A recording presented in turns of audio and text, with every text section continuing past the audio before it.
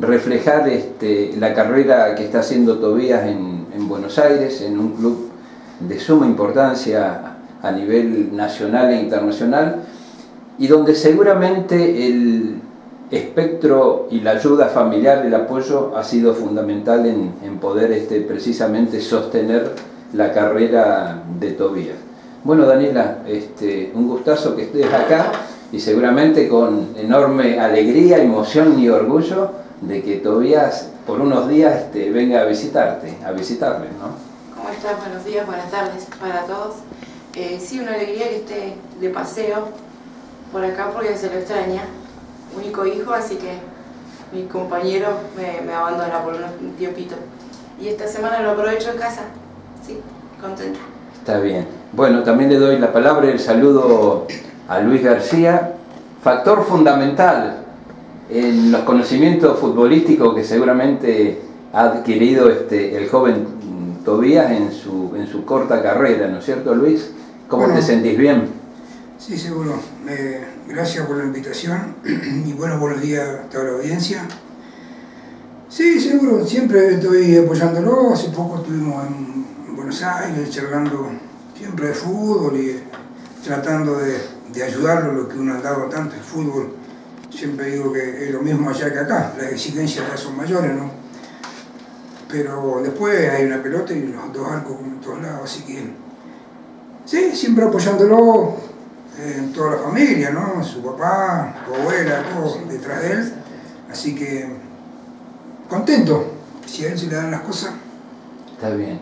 Bueno, Tobías es muy joven, muy jovencita, ahora, ahora le voy a preguntar la edad, pero él, él te vio jugar este, aún en el final de tu carrera o en No. algún equipo de veteranos. Cuando era muy chiquito lo llevé a, iba a ver a Frontera, ¿no? Yo- pero yo ya daba mis últimos mis últimas patadas en el fútbol. Y, pero no, no se debe acordar mucho. La anécdota ahí que pusimos de aguatero un día y, y después me lesioné yo y me dejó tirado. Se fue a jugar la pelota. ¿Ah, sí? Ah, se abandonó en pleno... Me abandonó en pleno partido. Pero es norm- es normal, el que le gusta el fútbol, cuando ve una pelota, se olvida de todo. Está bien. Bueno, le doy la palabra y el saludo a Tobías Garro. Un gustazo poder saludarte, que hayas aceptado la invitación este, junto a la familia de participar de esta entrevista y realmente que un zapalino esté representando a la ciudad, a la provincia y nada más y nada menos que en San Lorenzo es una alegría para todos. ¿Cómo andas? ¿Bien? Bueno, muchas gracias, buen día, gracias por la invitación y nada, disfrutando de la familia por unos días. Está bien. Bueno, este fin de semana, recién les consultaba fuera de micrófono, ¿no tienes partido en San Lorenzo? No, este fin de semana hay un parate por Semana Santa, por Pascua, así que nos dan para venir. Muy bien. Tobías, ¿en qué división estás jugando? En séptima división. En séptima. Sí. Bueno, hace pocas horas o pocos días nos enviaron un video como medio de prensa este, de las inferiores de San Lorenzo donde eh, convertís un gol. Excelente partido y excelente desempeño el tuyo. Qué bueno, comentanos un poquito. Sí, gracias a Dios se, se me dio la oportunidad de jugar y bueno, pude hacer un gol por suerte y, y pudimos ganar. El rival, Atlético Tucumán. Atlético Tucumán. Sí, ¿Y eso forma parte del campeonato del AFA, Sí. de la Superliga? claro. Está bien. Bueno, eh, para ir refrescando algunos datos y que la audiencia este, tenga conocimiento, ¿hace cuánto tiempo que estás en Buenos Aires? Eh, casi dos años. Dos años. Sí, eh, a mediados de 2017. me Bueno, y para estar en San Lorenzo, por supuesto que superaste pruebas eh, previas, ¿no es cierto? Sí, tuve dos pruebas, una que fue un día y después tuve que volver y estuve una semana en la pensión. Y bueno, y de ahí ya, después de un tiempo me fui a vivir para allá. Está bien, bueno. Eh, y actualmente eh, estás eh, residiendo, viviendo en lo que se dice la pensión de San Lorenzo, ¿está dentro del mismo estadio? Dentro del club está. Dentro del club. Hay dos pensiones, una que está abajo de una tribuna del estadio Sí, y otra que está dentro de la ciudad deportiva. No en el estadio, pero está dentro, del, dentro de lo que sería el club, que es una pensión nueva. Que estamos desde el año pasado en esa pensión.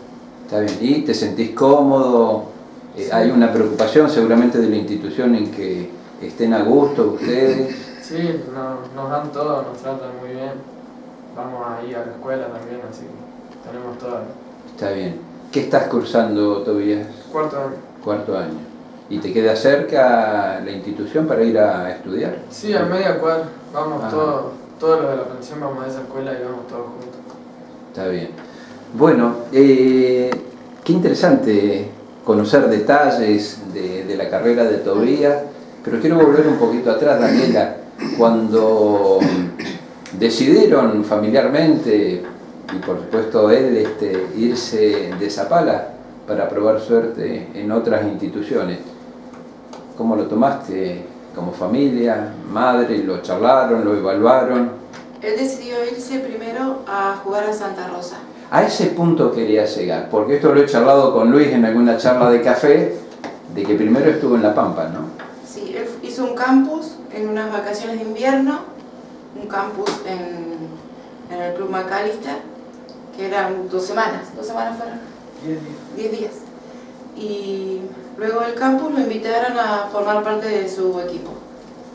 Por supuesto, todavía no lo pensó y dijo que sí. Consideramos que era muy chico para que se vaya solo y lo acompañé. Lo acompañé yo con mi mamá y mi papá y su papá, todos apoyando ¿no? la decisión. Así que nos fuimos los dos para La Pampa. Y a mitad de año surgió lo de San Lorenzo, así que hay que sobre La Pampa. y yo me volví porque él siguió su camino ya solo. Pero siempre su, su prioridad siempre fue el fútbol. Yo tratando de convencer, terminar primero la escuela acá, que tus compañeros. Y no, su, su, respuesta siempre fue, allá también hay compañeros, así que otra vez no me van a llamar, me voy, me voy. Y se fue. Bueno, pero esto habla a las claras y es para destacar la personalidad de Tobías, porque eh, afrontar este, este desafío, porque cuántos chicos, por supuesto, han ido con la mejor buena intención y, al poco tiempo emprenden regreso, porque el desarraigo es, muy fuerte, muy grande, ¿no? Sí, yo creo que lo que tiene él es mucha, es muy terco en sus decisiones, él quiere una cosa y ahí va, y creo que en eso reside mucho su, su decisión de, de, de irse. Y aparte está el apoyo de todos, que donde empieza a pincharse, el papá va o mi papá viaja, el que puede va a verlo, y creo que él se apoya en eso también, sabe que siempre hay, hay otra gente acompañando. Seguramente. Más allá de su definición, ¿no? que él sabe, lo que quiere. Muy bien. Luisito, eh, seguramente a La Pampa, a Santa Rosa, al Club McAllister, viajaste un par de oportunidades, ¿no? Sí, sí, sí. Desde los comienzos. Sí, los comienzos de cuando va a Santa Rosa, sí, sí. Y bueno, fue un paso, siempre ha sido muy decidido. Eh, no tengo muchas anécdotas todavía, que tendría que estar un rato largo de contarlo, pero él tenía siempre la... Su pensamiento fue José jugador de fútbol, él estaba decidido. Eh, y bueno, eh, la verdad es que es muy loable, ¿no? A su edad, él, él va a la Pampa a los 14 años. Antes de ir a San Lorenzo lo había sacado Boca dos veces, Madurga. Por esas cosas que tiene el fútbol, nunca vinieron a buscar. Este, siempre estuvo en la mira de los equipos que han ido a jugar a La Pampa, de, de llevar gimnasia de Grima cuando estuvo acá, en fin.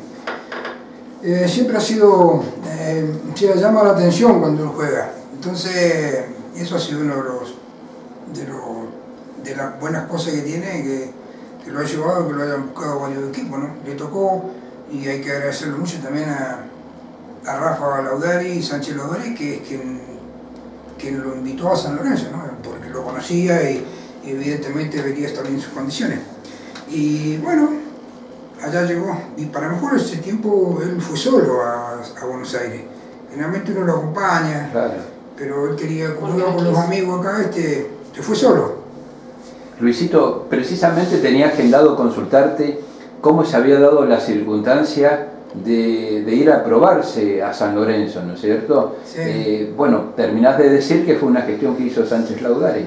Sí, sí, sí, él fue que lo dijo que lo pasen a buscar y ya estaba en La Pampa.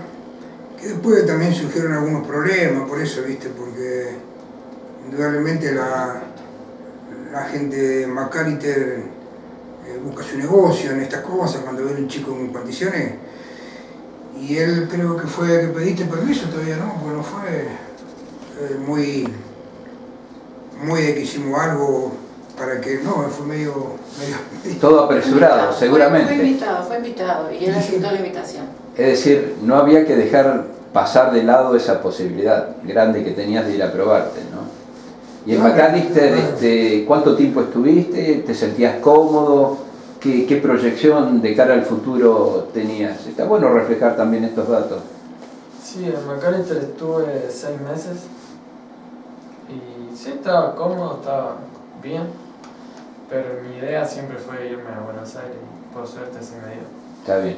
Así que institucionalmente, Luis y, y Tobías, costó eh, la tramitación, si se quiere, porque ponía trabas eh, hay que explicar, este, Macalete tiene montado un complejo muy grande eh, a través de, de Macalete que jugó en Boca, ¿no? que, que estuvo con el gobierno que está ahora.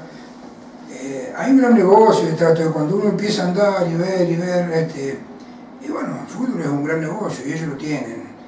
Y como lo de él no fue tan que el Macalester lo mandaba a San Lorenzo, él se fue solo, medio que no cayó bien, después hubo problemas con su pase, que, porque Macalester con San Lorenzo no estaba bien, bueno, cosas que son normales en el Está fútbol. bien. Y cuando uno las empieza a vivir, después tiene que explicarlo porque por ahí puede servirle a otro chico que, que tiene los mismos sueños que tiene él, ¿no? Entonces, eh, yo siempre lo explico y lo digo, ¿no?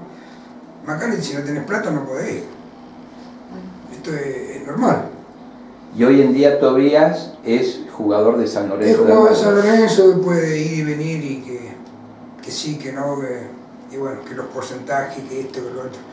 Indudablemente tomo un jugador que tiene muchas condiciones, yo veo así esto, que ojalá mañana se le puedan dar las sus cosas, sus sueños, y pueda llegar y concretar. Pero el camino todavía es muy largo, el fútbol es día a día. eh, Hoy hice un gol y creo que llegué y no, y mañana tengo que seguir porque después no hice un gol y me sacaron. De entrenar toda la semana y, y te quedas y todas esas cosas, viviendo en- lejos como está él, eh, es complicado. Yo lo viví. Yo me acuerdo, yo por ahí te iba a robar el programa porque tiene que hablar es él, ¿no? Pero yo, Ahora vamos a hablar con él. Yo lo, lo- lo cuento porque es importante, porque es la decisión que él tomó. Yo me acuerdo cuando lo fuimos a dejar con su papá. Yo fui. ¿Vos fuiste también? No me acuerdo, muy bueno, ya no me olvido. Bueno, la familia. ¿Viste, Daniela? Te están dejando. Eh, bueno, lo fuimos a dejar y lo dejamos en la pensión, en semejante estadio vacío y yo todavía le digo, eh, todavía está seguro, porque él tenía 14 años. Claro. Y, porque si no está seguro no volvemos, ¿cuál es el problema? Acá no hay ningún problema, es fútbol, no es el estudio. Y bueno, no, él me dijo, muy, no, bueno, esto es lo que yo quiero. Así que eh, yo me quedé tranquilo porque él tiene la decisión, la tiene, sabe lo, a dónde quiere apuntarle.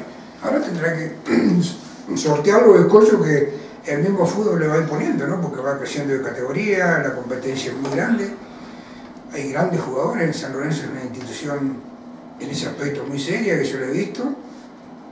Hemos charlado con todos sus técnicos, con, con Hugo Tocali, con Cuyuchoglu, medio un poco que ya nos conocemos porque lo vamos a ver y siempre charlamos sobre el mismo tema. Así que él está muy bien considerado, es una gran persona, es un buen pibe, así que lo que le está pasando es, todo de él. ¿eh?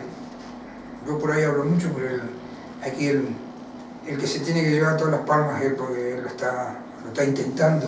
Ojalá pueda lograrlo. Seguramente. Bueno, Tobías, te voy a hacer unas eh, consultas, como se dice, cortitas, pero sería bueno que la audiencia se entere de tu trayectoria. Corta pero fructífera, qué, qué mejor. ¿Cuántos años tenés? 15. 15.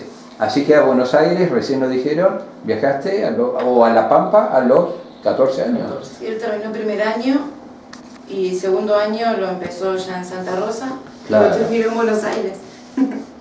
Mirá vos, qué, qué- qué jovencito. ¿Y en Zapala dónde jugabas? Jugué de chiquito en el CAIS, Sí. después estuve en Don Bosco y después me fui a jugar Alianza en Cultraco. Mirá vos. Así que tu último paso acá, no en Zapala, sino en la región, fue en Alianza. Sí, en Cultraco estuve tres años. Qué bien, ¿eh? ¿Y en qué división jugaste en Alianza?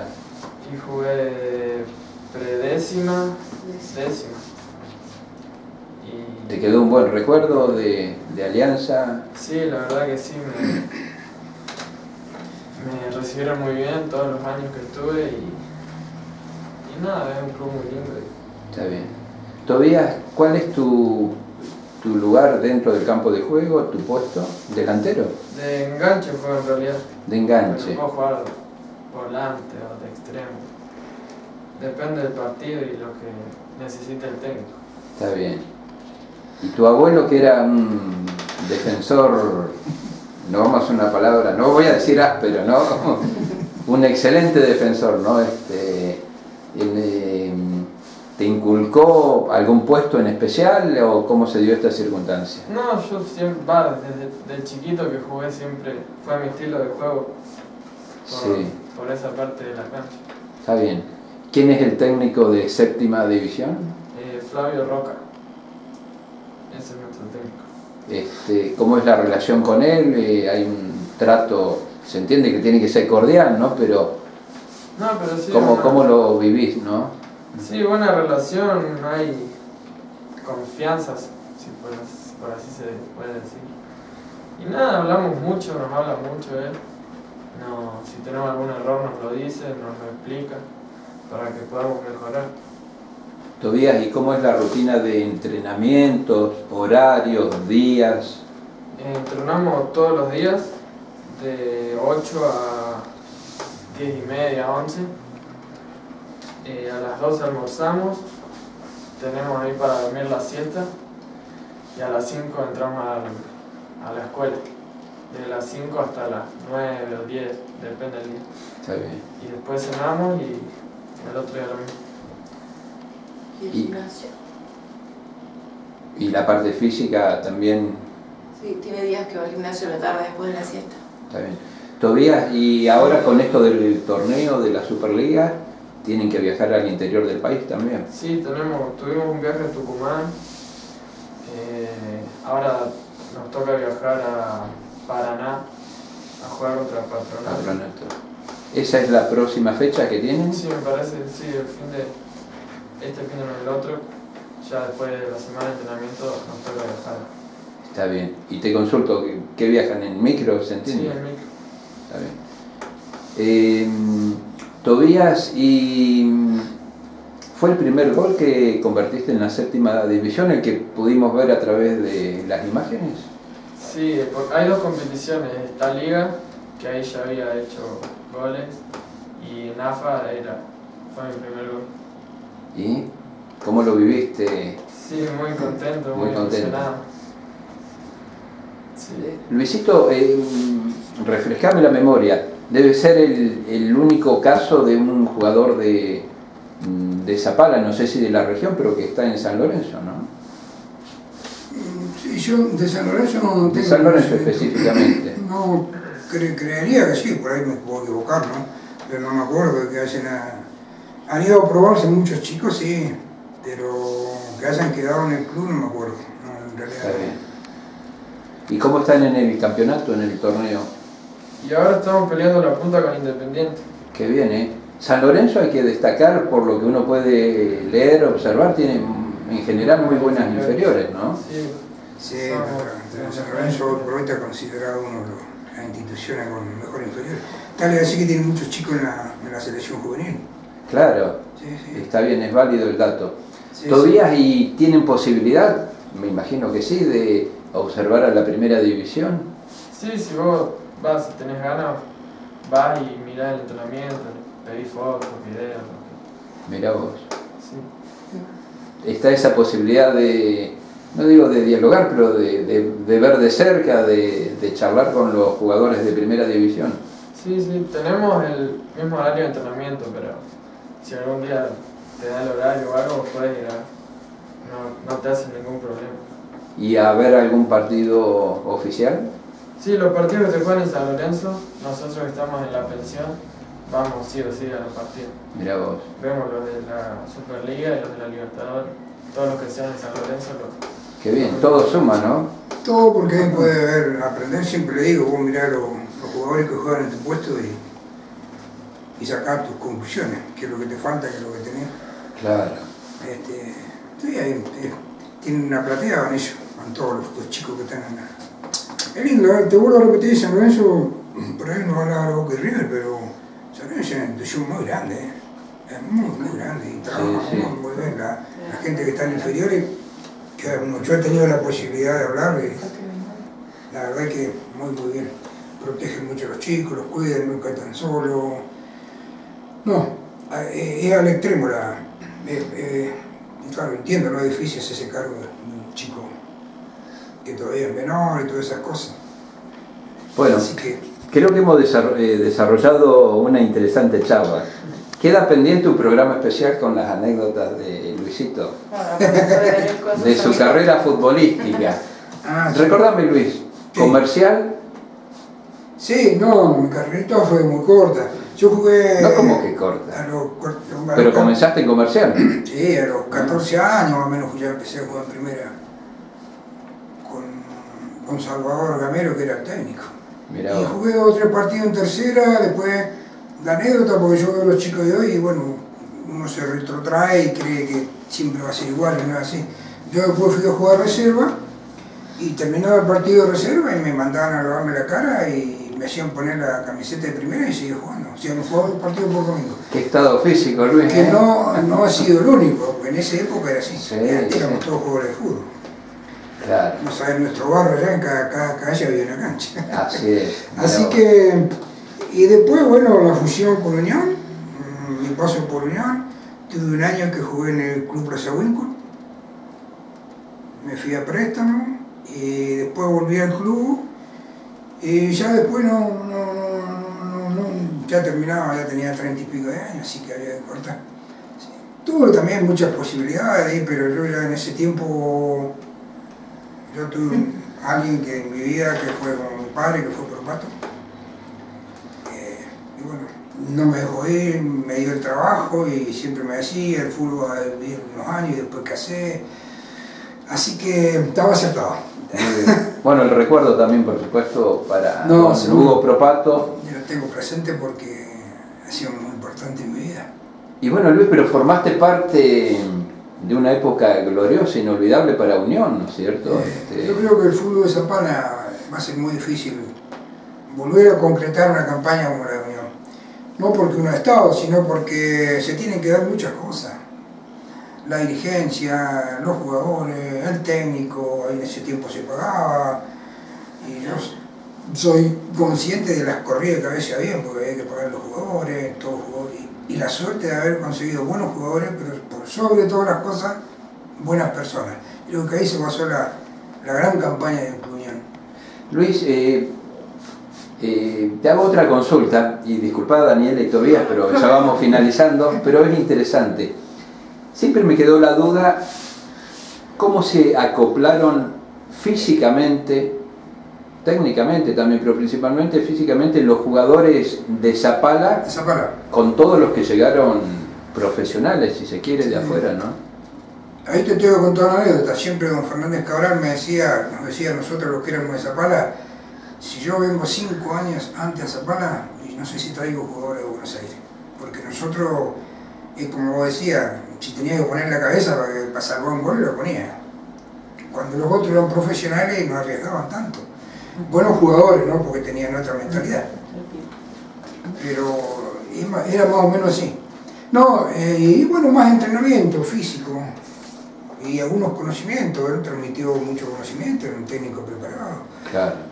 Eh, poder armar un buen equipo, eh, y bueno, hay mucha experiencia, ya te digo, he pasado un programa porque esa, esa campaña del club fue muy grande, muy grande, haber quedado a un punto de poder llegar al fútbol grande. Bueno, te comprometo, Luis, pero que, que reúnas dos, tres o cuatro compañeros de aquella época y hacemos una mesa para charlar.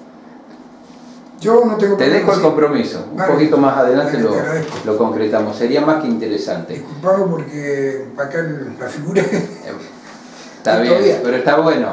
Eh, gracias Luis, eh, gracias por tu presencia y por todas estas vivencias, ¿no? No, te agradezco a vos.